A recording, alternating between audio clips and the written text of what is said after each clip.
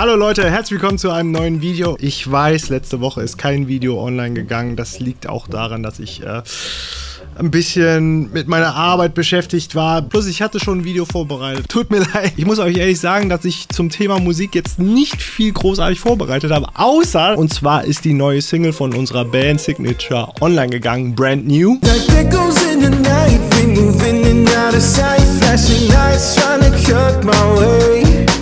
wir würden uns mega über euren Support freuen. Also spielt das Ding rauf und runter, packt es in eure Playlist, whatever. Wir wären auf jeden Fall sehr dankbar. Link in der Videobeschreibung, checkt es auf jeden Fall ab. Und lasst mir gerne unter dem Video hier ein Feedback zu dem Song da. Das würde mich mega freuen. Ja, wie gesagt, heute kein großartiges musikalisches Thema heute, sondern ich gebe euch vielleicht ein paar kleine Tipps, die ich als Musikproduzent als wichtig erachte, die auf jeden Fall für mich sehr, sehr hilfreich waren im Laufe der Zeit, wo ich jetzt mich entwickelt habe. Ich habe mir ein paar Notizen gemacht, weil ich mir nicht alles merken kann. Der erste Tipp, den ich euch geben kann, ist auf jeden Fall, seid offen für alles. Das heißt, sei es Filme, andere Musikstyles, die ihr nicht gerade hört, Reisen, also andere Kulturen. Der Grund, warum ich das euch sage, ist folgender. Es erweitert eure Inspirationsquelle. Deswegen ist es ganz wichtig, nicht in seinen virtuellen vier Wänden zu bleiben, sondern wirklich seine Fühler auszustrecken, zu gucken, was gibt's da draußen, was kann ich Neues dazulernen. YouTube-Videos gucken ist gut und schön, aber es ist nur ein kleiner Bruchteil Bruchteil, den ihr euch reinzieht. Guckt euch wirklich andere Sachen an, hört andere Sachen. Es hilft auf jeden Fall, neue Ideen zu entwickeln. Auch Computerspiele zocken, das hilft auch auf jeden Fall. Deswegen, wie gesagt, seid offen für alles. Der zweite Punkt ist natürlich, das kennt ihr auch schon, sich kontinuierlich weiterentwickeln. Also selbst lernen, neue Techniken lernen, gerade was Produzieren angeht. Vielleicht sagt ihr auch, ich will Songwriting lernen, dann zieht ihr euch Sachen über Songwriting rein. Ich kann zwar arrangieren, produzieren und Melodien komponieren, aber ich kann keine Texte schreiben. Deswegen ist es für mich gerade wichtig, dieses Verständnis noch besser auszubauen. Wie gesagt, lernen, lernen, lernen, besser werden ist das A und O. Der dritte Punkt ist auf jeden Fall auch, finde ich, ganz wichtig und zwar analysieren von anderen Werken. Sei es ein Jazz-Song, sei es der Top 10 Chart-Hit, sei es ein Filmscore. Einfach versuchen, das Musikstück auseinanderzubauen und nochmal wieder zusammenzusetzen und zu verstehen,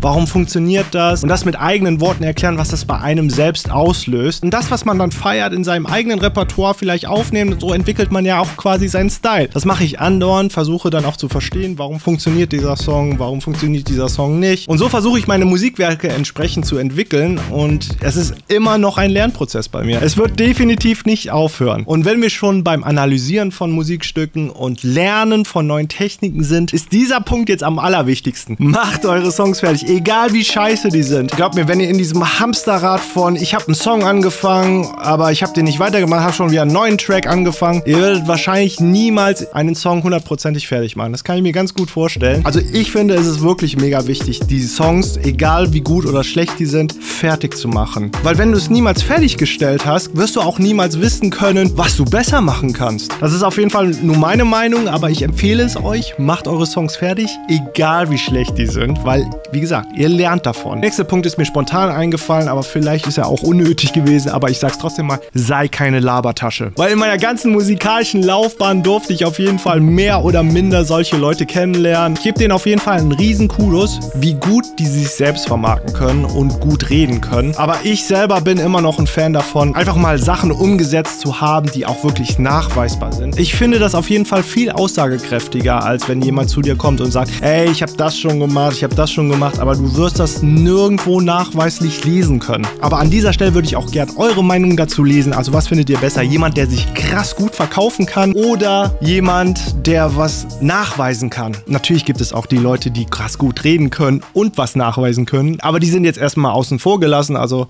lasst es mich gerne wissen. Der nächste Punkt ist auch auf jeden Fall für mich persönlich der allerwichtigste Punkt, der auch mich jetzt dahin gebracht hat, wo ich jetzt bin und das ist Grinden. Und mit Grinden meine ich wirklich in erster Linie die Ausdauer, die es mit sich bringen muss, um da irgendwann anzukommen, wo du sein willst. Ich weiß, da draußen gibt es so viele Motivational Speaker, die das dann auch anpreisen. Natürlich soll man das in einem gesunden Maße ausüben. Ich selbst habe es leider nicht gemacht, weil früher hatte ich Ausbildung. Ich hatte danach noch einen Nebenjob an der Tanke und habe dann noch Musik produziert. So habe ich auf jeden Fall Grinden definiert. Also ungelogen, das Wichtigste in dem ganzen Prozess ist die Kontinuität, die du in deine Arbeit reinsteckst. Also ich mache ja schon seit über 20 Jahren Musik und ich bin immer noch nicht an dem Punkt, wo ich eigentlich sein möchte. Also das kommt mit der Zeit. Ihr dürft auf jeden Fall nicht erwarten, dass ihr von 0 auf 100 100 direkt hier der Überflieger seid. Es ist auf jeden Fall ein sehr langwieriger Prozess. So viel zum Grinden. Kommen wir zum letzten Punkt. Soft Skills sind auf jeden Fall das A und O in diesem Bereich und ich habe mir jetzt erstmal eine Seite aufgemacht, weil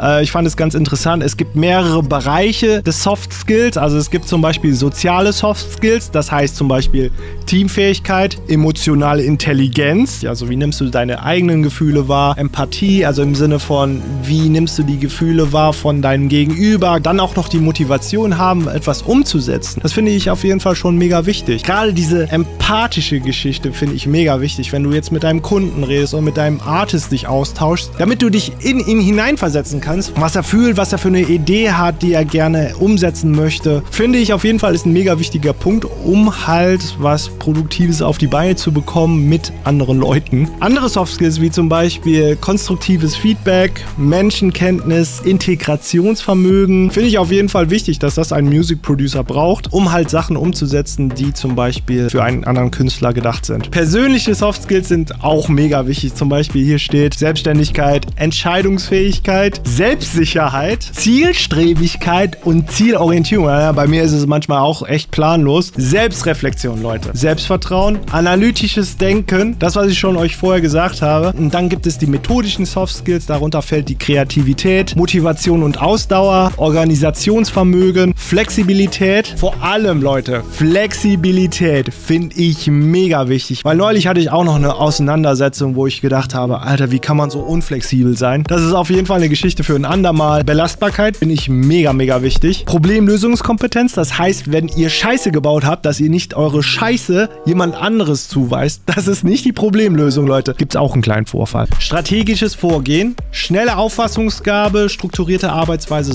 Sorgfältigkeit, Delegieren. Delegieren finde ich jetzt gerade nicht so wichtig, es sei denn, ihr leitet einen Chor oder ein Orchester. Jetzt kommen wir zu dem aller, aller wichtigsten Soft Skill. Kommunikation, Leute. Präsentationstechnik kann ich null.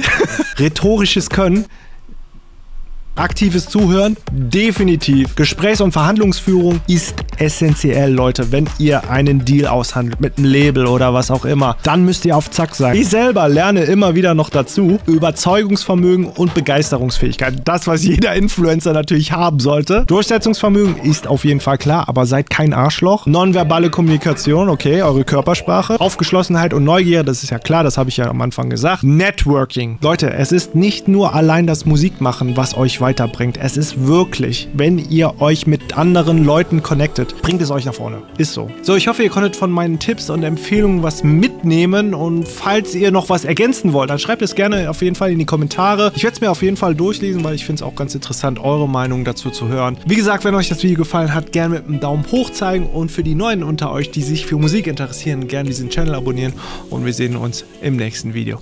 Ciao.